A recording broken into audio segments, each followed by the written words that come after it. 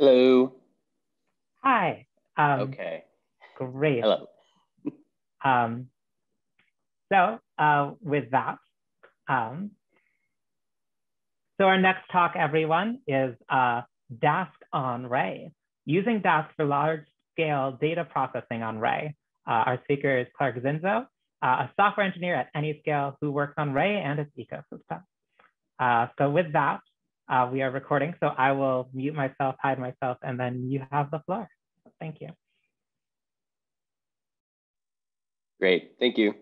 Thank you, everyone. Hello, uh, very happy to be talking to you today. Uh, can uh, you all see my screen? Or I think I need to share. Yeah, here we go, let me share. Okay, I think everybody can see this. Uh, so yeah, this talk is on the Dask on Ray integration. It's a way to run uh, the entirety of the Dask ecosystem on top of Ray. And it's one of, uh, one of Ray's big ways to do large scale data processing on top of Ray. And so what is this talk exactly about? Um, it's about the uh, core motivation for the Dask on Ray integration, uh, integration um, for which there are essentially like two big points. It's um, uh, providing a compelling option for doing large scale data processing uh, other than uh, Dask distributed. Um, it, it's often a pretty nuanced choice on which to choose, and I'll talk about that a little bit later on. Um, but it's, uh, I would say it's more about trying to find a way to join these two uh, super awesome ecosystems. Uh, Dask with its very broad uh, selection of like data processing abstractions and libraries, and then Ray with an ever growing machine learning ecosystem. Um, and marrying those is basically, I think, a big win for everybody. So a little bit about me first. Um, I'm a software engineer at Anyscale. Uh, Anyscale is the company that uh, came out of the Berkeley RISELab that was formed around Ray and its surrounding ecosystem. Uh, and we're still a startup. I'm working on the core Ray system, primarily focusing on supporting uh, large scale data processing. Uh, so anything that needs to be uh, anything that needs to be fixed or improved within the core Ray system to support supermassive data scales. I'm all about that. Uh, before Anyscale, I was actually a Ray and a Dask on Ray user at the uh, last startup that I worked at, Descartes Labs, we were using Dask and wanted to try to find a way to run Dask on top of Ray for really large distributed workloads. Um, and that's when I uh, contributed Dask on Ray to the Ray ecosystem and started using that. And also right now, currently I'm in an Airbnb trying to find a place to rent in the Bay Area. So a little extra about me, uh, please help. it's very, very difficult so far um, yeah, just yeah, if you got any pointers, that'd be great. New to the area. Uh, so why do we need Dask on Ray? Why even do this? What problem are we actually solving? I, I see it as two big problems. Um, number one, just uh, we have two disjoint ecosystems. Dask has awesome data processing stuff. Ray has some awesome machine learning stuff. Both ecosystems continue to grow.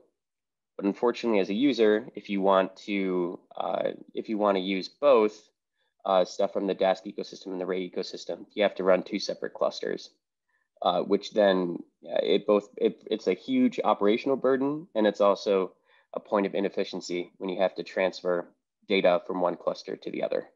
For example, when going from like data pre-processing uh, to model training, which is, you know, that's no fun. Nobody wants to do that. Uh, and the other big one is providing a compelling option for super large scale uh, data processing. So basically Dask on Ray being valuable in its own right, even considered like totally isolated from the two ecosystems. Uh, so Ray's support for large scale data processing has continued to get better and better. We've been working a lot on that, uh, even before the Dask on Ray integration was a thing. Uh, but un unfortunately, implementing uh, these like front end collection abstractions like uh, multi-dimensional arrays and data frames implementing that API surface on top of Ray, it's a ton of work. Um, and uh, we don't have the engineering, uh, we don't have the engineering uh, resources to take that on. And, you know, uh, like other libraries in the ecosystem have been, have been working on that, you know, over the course of like the last decade. Uh, and so if you ever want to see how crazy this is, you know, just go look at like the API surface that, that the Dask uh, like data frame and, and array collections cover. It's nuts, it's a lot of work. So a solution to these two problems, disjoint ecosystem, and then uh, trying to provide another uh, large scale data processing solution uh, that has to be done on a multi-node cluster is Dask on Ray, where we basically find a way to run Dask on top of a Ray cluster. So this solves the disjoint ecosystems problem uh, by unifying those, those uh, two ecosystems by using Ray as the shared compute substrate of both any Dask workload and any Ray workload. It can all run on top of uh, a single Ray cluster. So you only need to deploy and operate a single cluster. As for large scale data processing, um, by running Dask on top of Ray, we can benefit from the, uh, I would say, thousands upon thousands of engineering hours that have gone into developing Dask's front end abstractions. And by hooking into Dask uh, at below those front end abstractions, we can benefit um, from that API surface coverage and also uh, all of the like heavy optimizations uh, that have gone into making these uh, efficiently like data parallelizable um, and like miscellaneous like task graph optimizations. So by doing this, we automatically get a uh, NumPy API on top of Ray, a Pandas API on top of Ray, and the uh, slightly less used but still super cool and important, um, the you know PySpark-esque API uh, with Dask bags. And so just by hooking into Dask's awesome uh, uh, awesome like scheduler API, we suddenly benefit from all of that work of that ecosystem. And it's now, now you can run super awesome large scale data processing stuff on top of Ray. Now, you know, this is great, but it's, it's also like, who's using this? Like, why would you want to use it? What's the use case? Um, one use case that we found interesting is uh, this very large scale X-ray workload that's being done at Amazon, um, which involves processing 3.3 petabytes or petabytes of uh, multidimensional uh, data and generating uh, like 15 uh, yeah, terabytes of output. And they initially experimented with both Dask distributed and Dask on Ray. And then uh, when comparing them side by side, uh, the interesting results that they found were that Dask on Ray, like AKA uh, Ray, the Ray backend successfully scaled up to a seven times larger cluster on AWS than Dask distributed. Uh, so they are able to add many, many more EC2 instances in their cluster uh, without the cluster falling over. And uh, they also achieved a four times higher throughput for core and that that's also that per core bit is key. It, wasn't purely four times higher throughput because the cluster was way larger and it had way more resources available. This was uh, at a per core level. Um, so so essentially like much more efficient uh, resource utilization and higher throughput. And overall, for this particular user at Amazon, this resulted in a nearly four time, 14 times faster processing of their workload um, which time wise is it's kind of like an insane comparison of like two weeks compared to half a year. Uh, and even with that much larger cluster, they still saw like a 4x reduction in cost, um, which was huge because this is also this workload is also running periodically. It's not just a one-off. And uh, by the way, I'm gonna share these slides and you can check out the blog post for more details on this benchmarking. It was a really really well done thorough benchmarking, very interesting. So uh, I haven't talked too much about what Ray actually is. I've just been talking about it as like it's a cluster and a way to execute tasks.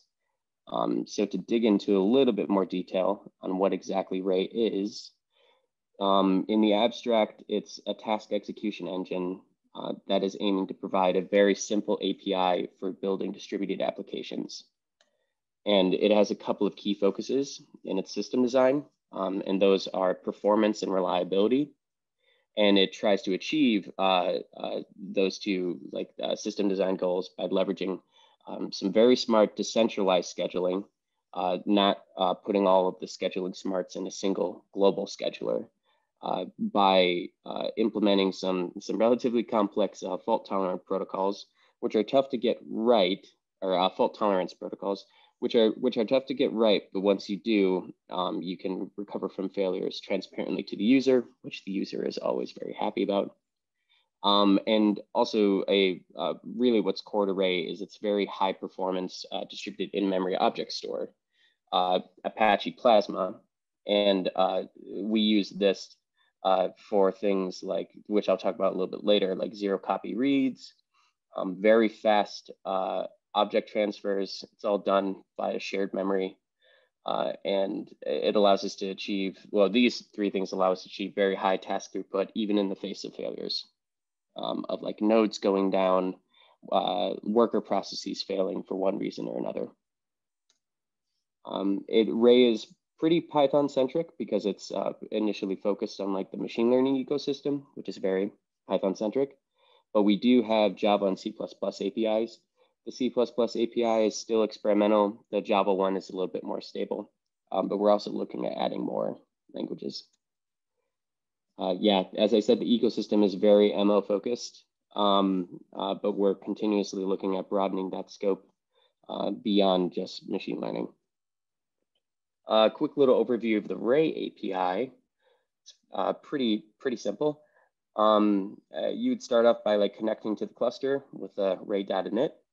And then if you have a function that you want to run on the cluster, you just wrap it with a ray.remote decorator, and that will export the function to the cluster and wrap it in this remote object. So when you want to actually submit a task, instead of calling add directly, you would call add.remote, and that will create a task, submit it to the cluster, and it'll return a future, a uh, Ray object ref. So this is just representing a uh, potentially like a soon to be materialized object somewhere in the cluster.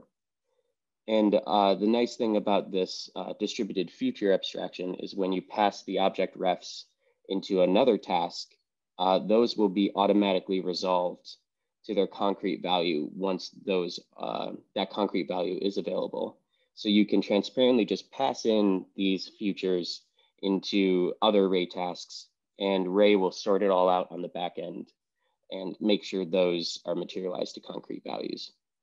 And then at the end, when you finally want your result, you call ray.get and that will fetch the object from that distributed in-memory object store that I talked about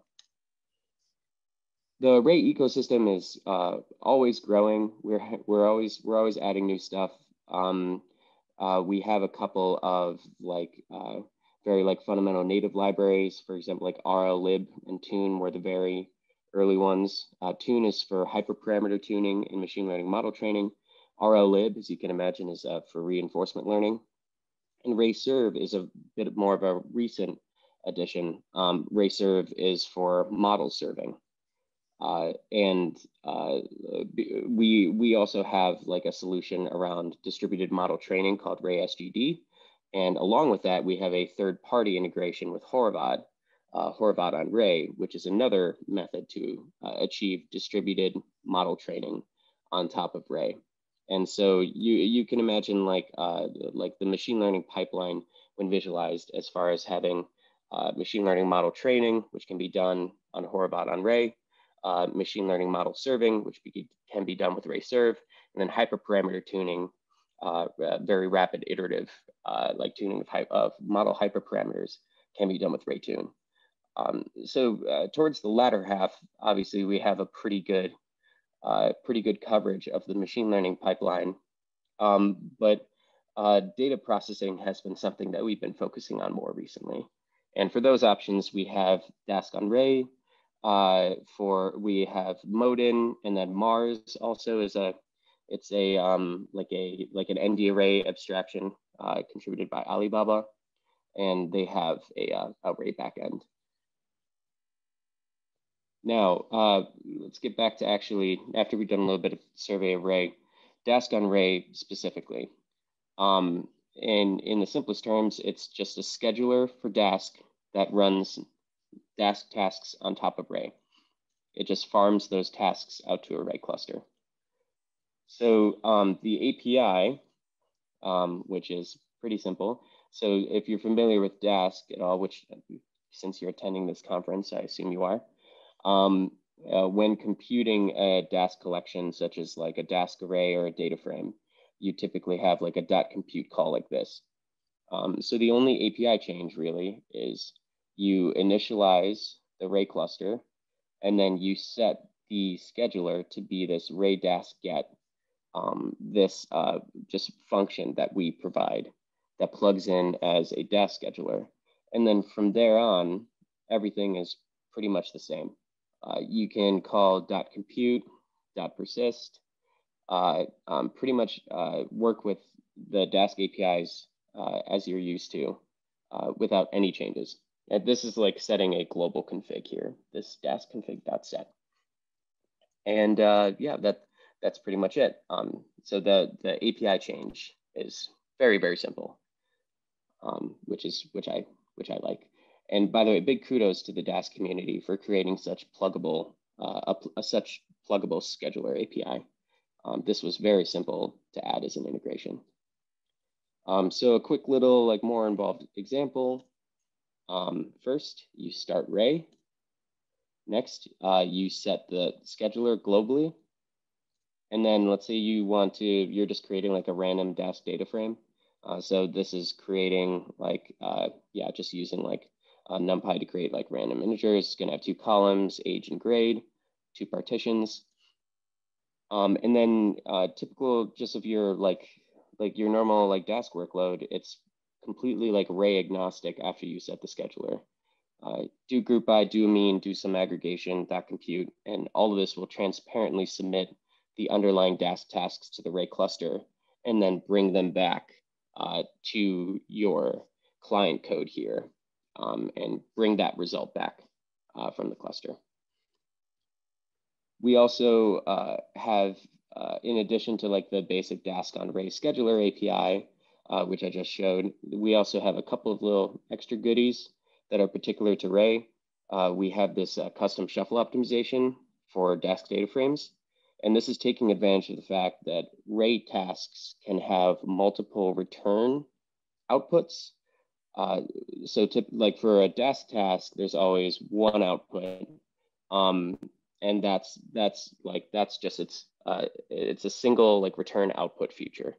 Um, in Ray tasks, you can actually say, no, I want to have uh, this will have five. Um, this will have like five uh, return objects, and then when you submit that Ray task, you get back five distinct futures, and you can then pass those to like you know other Ray tasks. And this is useful for shuffle, uh, for example, because a mapper will split its uh, a mapper will will select a certain like subset of like data frame rows and split those out to n reducers. And how this is typically done within Dask is it will return one large list of chunks, and then it'll have a bunch of other Dask tasks that are slicing that list. While in this case, we're able to return each of those individual chunks uh, as like uh, a separate distinct return object. And then those are fanned out directly to the reducer. So we get rid of basically a layer of Dask tasks, which actually provided a, a pretty big speed up um, when we were benchmarking some Dask on Ray shuffling. So how this would be provided is similar to when you're setting the scheduler in the config, you set uh, this data frame optimization function that we provide. Um, and then it's it's all pretty much then like Ray agnostic, except in order for this to work is that anything that will trigger a shuffle, you would want to say, I want to do task-based shuffling. That's what the shuffle equals tasks is. And then you want to set this max branch parameter uh, to essentially infinity. And that's to uh, force that it doesn't do like stage-based shuffling, that it just does it all in one stage. uh, hopefully that max branch will no longer be necessary. Um, like I'm currently looking into a way of getting this optimization to work well, uh, even when shuffling is done throughout multiple stages. Um, but that is, uh, you know, that's to be added. Um, hopefully I'll get to that at some point.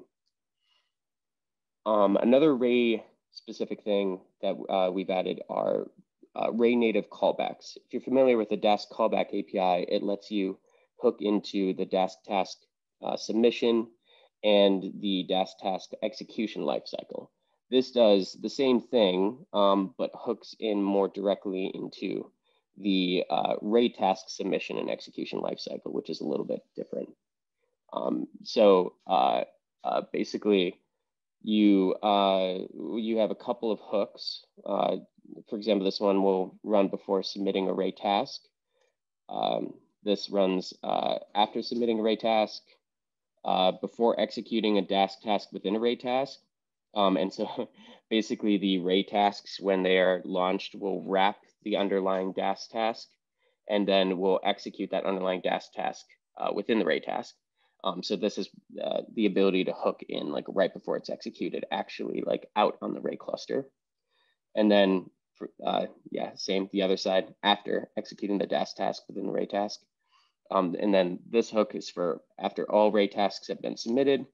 And then finally, after Ray, all Ray tasks have finished and the final result has been returned back to the client. So these hooks are useful for implementing things like a caching layer, uh, where you can, before submitting a task, you can check to see if that key is in some, like for example, like a Redis cache.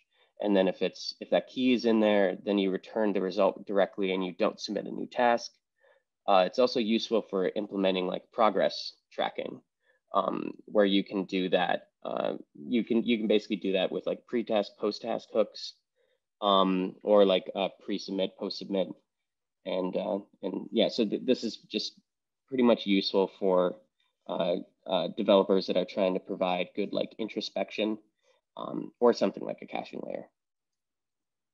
And then for persisting, we uh, we support the um, the like inline future semantics of Dask distributed when you persist a Dask collection, um, uh, where it's like all the tasks are still submitted for uh, computation on the Ray cluster when you call that .persist, but it inlines these object ref futures um, instead of uh, like uh, blocking until uh, until the underlying like result is available and and returned.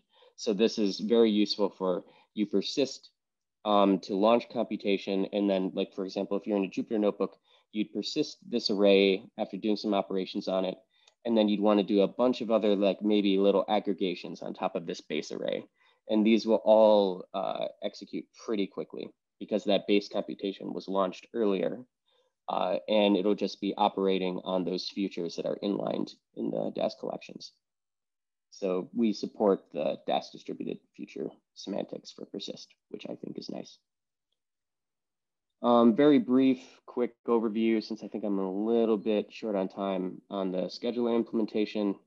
Um, it's, it's very simple. All Ray tasks by the way, are just like exported Python functions when we do this like ray.remote wrapper of a function. And then given that Dask task graphs, they're under the hood, they're just these like function application graphs of Python functions.